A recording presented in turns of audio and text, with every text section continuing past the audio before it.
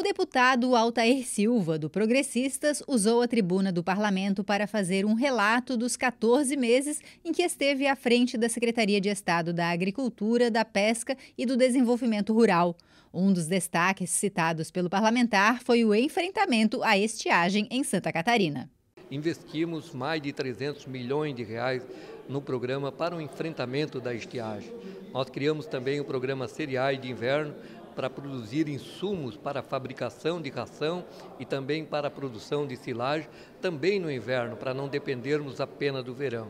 Nós também lançamos o programa de internet com fibra ótica ao interior dos municípios catarinenses, que já é uma realidade a instalação de robôs, de sistemas é, automatizados através da internet, que estão gerando mais resultados e renda para o produtor rural.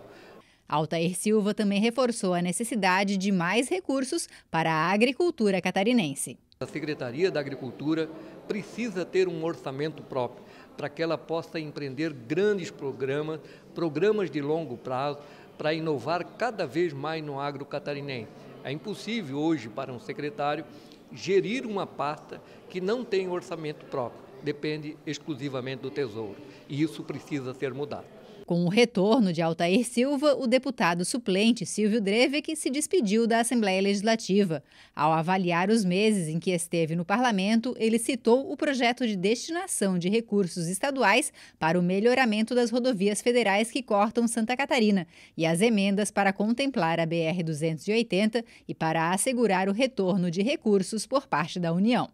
Quando eu cheguei aqui na Assembleia Legislativa, que foi em 2021, no início do ano, já estava em tramitação aqui um projeto de lei na Comissão de Finanças que destinava recursos do Estado de Santa Catarina para rodovias federais, a exemplo da BR-470, da BR-163. E eu ainda consegui segurar o projeto, fazer um voto vista, com uma subemenda, alocando 100 milhões de reais para a rodovia BR-280, que faz a ligação de Joinville com o Porto de São Francisco.